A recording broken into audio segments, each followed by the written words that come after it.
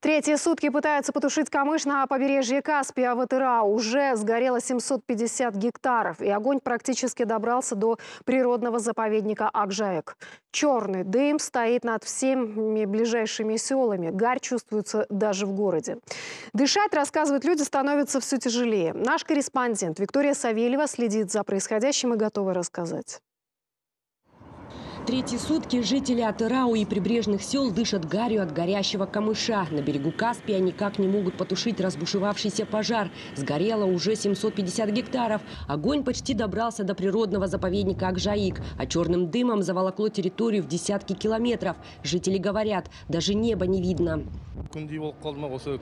Уже несколько дней небо покрыто черным. Мы его не видим. Сплошное темное пятно. Дышать тяжело. Детей и стариков стараемся на улицу не выпускать. Этот воздух очень на здоровье влияет. За лето третий раз уже горит. Неужели нельзя что-то сделать?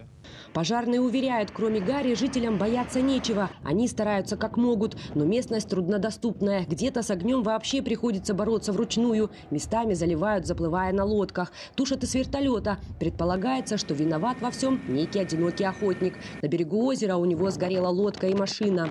Поступило сообщение от человека 55 -го года рождения, что э, сгорела его техника, лодка и прицепное устройство. Предположительно, пожар начался и загорение машины и распространился огонь по камышовым растительности. К слову, это уже третий крупный пожар на берегу Каспия в этом году. Прошлые два удалось потушить спустя неделю. Сколько времени силы техники понадобится в этот раз, никто сказать не может. Сейчас пожарные жалуются на ветер, который лишь усиливает огонь и его распространение. Виктория Савельева, Манас Шарипов, Денис Храмов, КТК, Тарауская область.